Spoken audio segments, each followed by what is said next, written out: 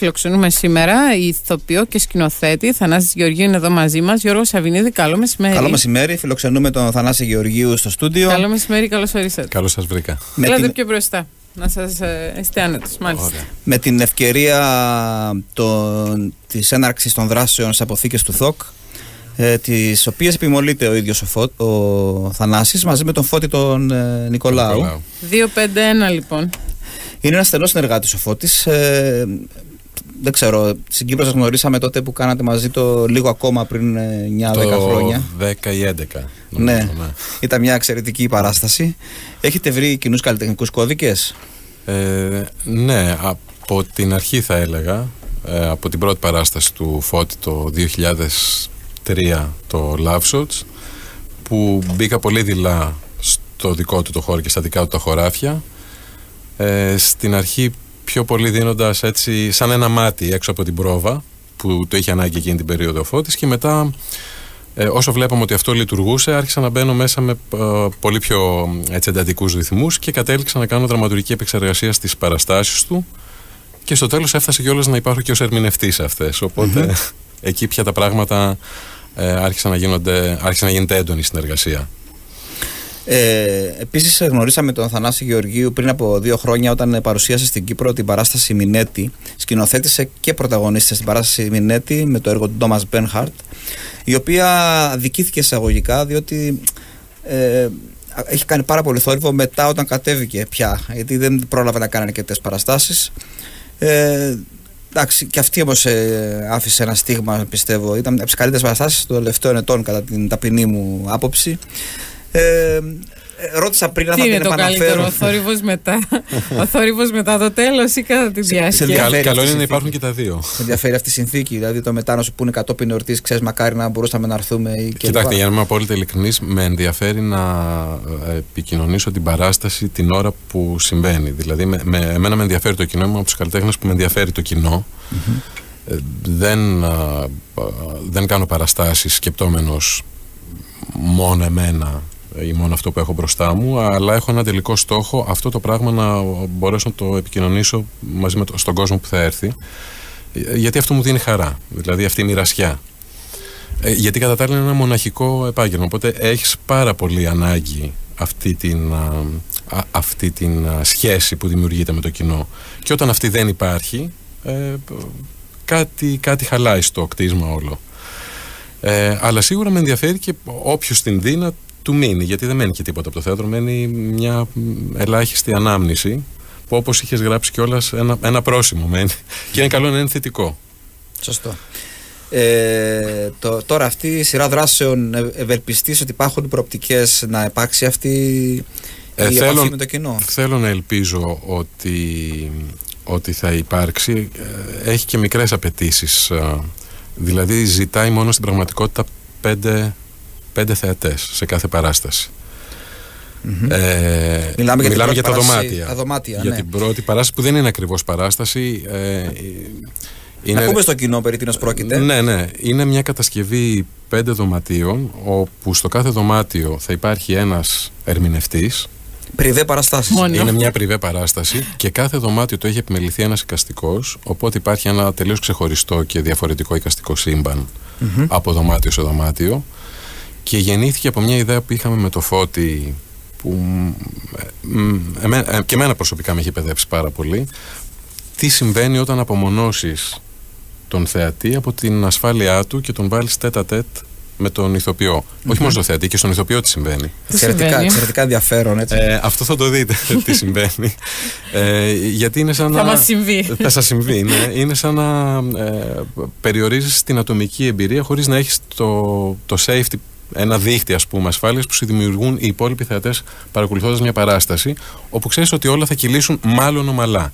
Γιατί στο, στο θέατρο υπάρχει ούτως ή άλλως πάντα και το απρόβλεπτο. Θα, θα, είναι, ε, θα είναι πριβέ παραστάσεις λοιπόν των με, πόσων λεπτών περίπου κάθε ε, Νομίζω έτσι όπως βγαίνει προς το παρόν είναι γύρω στα 6 λεπτά η κάθε παράσταση και νομίζω ότι είναι ένας καλός χρόνος γιατί δεν ξέρω αν αντέχει ο θεατή. Και θα υπάρχει και μετά ένα αλλαγή. Θα είναι σε όλο παράσταση. Και, και θα αλλάζουν μετά δωμάτια. Ναι, ναι, θα είναι πέντε θεατές οι οποίοι θα επισκέπτονται τα πέντε δωμάτια. Ναι. Άρα ο καθένας θα έχει μια διαδρομή πέντε δωματίων. Είναι σαν ένα μουσείο ας πούμε συναισθημάτων Και το 5 επιστρέφεται ξανά από την αρχή και μ, ολοκληρώνεται κάπως έτσι. Η διαδρομή είναι μόνο. Όχι, γιατί ο καθένας θα ακολουθήσει Αυτό τη δική του τελεί- διαδρομή. Ναι. Αυτό αλλά, τελείς. αλλά σίγουρα και οι πέντε θα περάσουν και από τα πέντε δωμάτια. Με άρα άλλη ο σειρά. καθένας, με άλλη σειρά, άρα ο καθένας έχει διαφορετική συναισθηματική έναρξη και τέλος. Να πούμε ότι ε, ξεκινούν αυτά, αυτές οι παραστάσεις ε, στις 13 Φεβρουαρίου έτσι. Ναι. Και μετά θα, έχει, θα, έχει, θα είναι διπλές δύο παρουσιάσεις κάθε μέρα, κάθε Τετάρτη, Παρασκευή και Σάββατο στις 8.30 και 9.30. 9.30. Επειδή μας λίγο το περιεχόμενο της παράστασης και την ιστορία της κάθε.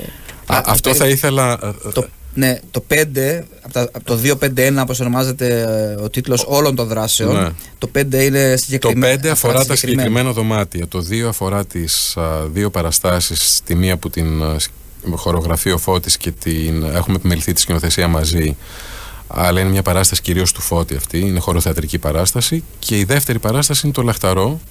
Ναι, το κρέβ της ε, το Σάρα- Crave, της ναι, Σάρα της Sarah Κέιν. Kane, ε, που νομίζω ότι ανεβαίνει, αν δεν κάνω λάθος, πρώτη φορά Ναι. στην Κύπρο. Ανεβαίνει πρώτη φορά στην Κύπρο. Ανα- Κατά με. ε, Περίεργο. ναι, ναι. Είναι ένα εξαιρετικό έργο. Περίεργο γιατί; Είναι ένα θεατρικό ποίημα. ε, ναι, ναι. Περίεργο Η έπρεπε ποικιλία να έχει είναι ανέβει. απαραίτητη. Εντάξει, ε, έχουμε, δει, έχουμε την ευκαιρία να δούμε παραστάσεις με έργα της Σάρα Κέιν στο Πάντα παρελθόν, υπάρχει αλλά όχι πρώτη το φορά. συγκεκριμένο. Ναι. Ε, Το ένα πάει στο θεατή. Τώρα πάει στο θεατή. Οκ. Λοιπόν, να πούμε για τις δύο αυτές παραστάσεις με την ευκαιρία. 27 Φεβρουαρίου και για πέντε μόνο παραστάσεις είναι το Αμήν 2, μια χωροθεατρική πρόταση του Φώτη Νικολάου. Έτσι. Ναι. 27-28 Φεβρουαρίου, 1, 2 και 3 Και 3 Μαρτίου. Μαρτίου. Και στις 5 Απριλίου ξεκινάει το Λαχταρό της Σάρα Κέιν, έτσι, το οποίο ε, είναι ένα έργο το οποίος σπάει τις φόρμες και το θέμα είναι ότι η Σάρα Κέιν στο, ελληνικό, στο ελληνόφωνο κοινό, αν δεν κάνω λάθος, έγινε γνωστή Από την παράσταση του, Του Λευτέρη Λευτέρη Βογιατζή, Βογιατζή. από το καθαρή πια. το καθαρή πια το 2001. Το 2000 κάπου νομίζω. εκεί. Άρα μετά το θάνατο της Σάρα Κέιν. Μετά το θάνατο της Σάρα Κέιν, ναι. Ναι.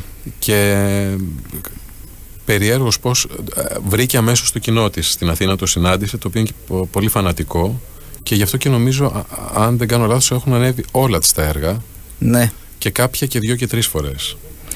Ε, ο μύθος τη Σάρα Κέιν, να, μι- να μιλήσουμε λίγο γι' αυτό. Ναι, να επειδή είναι μιλήσουμε και το λίγο έργο που για τη σκηνοθετεί εσύ. Ε, τι είναι αυτό που διατηρεί άσβεστα το μύθο της, πιστεύεις, μετά Νομίζω από. ότι Έχει 20 χρόνια που πέθανε. Έχει 20 χρόνια και πια α, πολλοί την κατατάσσουν στους σύγχρονους κλασικούς.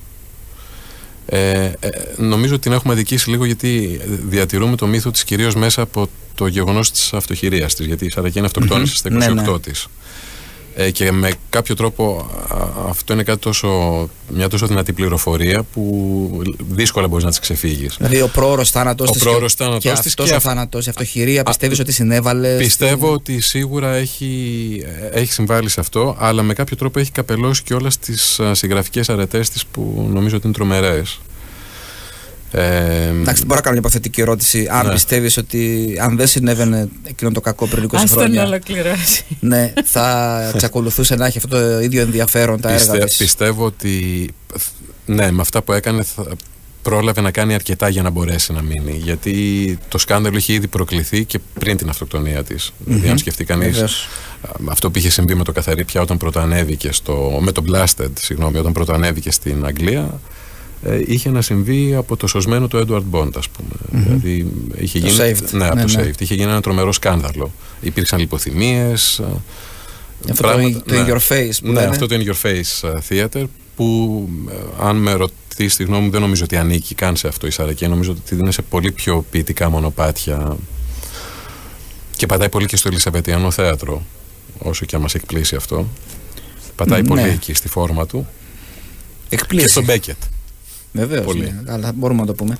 Ε, το θέατρο της Σάρα Κέιν τι είχε προτείνει στην εποχή μας και στο κυπριακό ας πούμε θεατρικό κοινό πιστεύεις; Ε, έχει να προτείνει μια διαφορετική φόρμα καταρχήν στο πώς ο, προ- προσλαμβάνουμε μια παράσταση, στο τι συμβαίνει και ε, προτείνει και νομίζω ότι χρειάζεται κιόλας.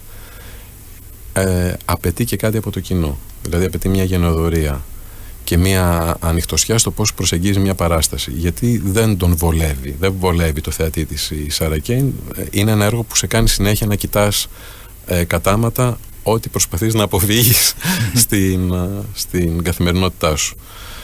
Ε, και εγώ μ, σε αντίθεση με πολλούς άλλους θεωρώ ότι αυτό βλέποντας μια παράσταση λειτουργεί λυτρωτικά και καθόλου καταθλιπτικά Ε, δεν πιστεύω ότι δημιουργεί κάποια στενάχωρη κατάσταση. Το αντίθετο, νομίζω ότι μπορεί να φύγεις έως και ανακουφισμένος από ένα έργο της Σάρα Κέιν.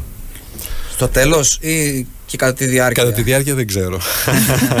αλλά στο, ναι, αλλά στο τέλος. Γρήφο σήμερα. Ή... Ε, φαντάζομαι ότι είναι μια παρηγοριά όταν βλέπεις ότι κάποιος έχει δει κάποιες περιοχές σκοτεινές και τις έχει μετατρέψει σε τέχνη, τις έχει, τις έχει ξορκίσει με έναν τρόπο και ότι, αυτό. Ακριβώς, και ότι η ζωή παρόλα αυτά μπορεί να προχωρήσει. Πάντα υπάρχει μια σκοτεινή πλευρά. Πάντα. Σε και το θέατρο αλίμονο αν δεν ασχοληθεί με αυτή την πλευρά το θέατρο. Ποιος θα ασχοληθεί, αν δεν ασχοληθεί η τέχνη. Θα μας πείτε ποιους θα δούμε στα πέντε δωμάτια. Στα πέντε δωμάτια θα δείτε την Άντρια Ζένιου, τον Μάριο Κωνσταντίνου, τη Στέλλα Φυρογέννη, τη φωνή τη δική μου σε ένα από τα δωμάτια μόνο που είναι μια ειδική συνθήκη. Θα είναι σκοτάδι. Μην κάνουμε spoiler τώρα. Ναι. Θα ακούμε μόνο, δεν Και θα το άλλο επίσης το δωμάτιο είναι μια έκπληξη. Οπότε... Να μην τα πούμε. Ας μην τα πούμε, ναι. Πες μας για το λαχταρό, το οποίο ξεκινήσαν οι πρόβες υποθέτω. Οι πρόβες ξεκινήσανε, ναι. Ε, και την προσέγγιση σου, αν, είναι, αν μπορείς ε, να μας προδώσεις μερικά πράγματα. Μπορώ να σας προδώσω, αλλά είναι τόσο δύσκολο να το προσεγγίσεις αυτό το έργο, οπότε θα μιλήσω για τη δυσκολία που έχει προσέγγιση σε αυτό το έργο. Γιατί τι συμβαίνει; Ε, είναι το τέταρτο έργο της. Πέντε ναι. έγραψε όλα και όλα. Ε, και το τελευταίο της μάλιστα δεν το πρόλαβε να το δει ποτέ, γιατί σχεδόν ήταν ένα σημείο για, την, για το τέλος της. Το 448, ναι, ναι. μιλάω για το 448. Ναι, ναι. Ψύχωσης. Ναι. Το Λαχταρό είναι το πρώτο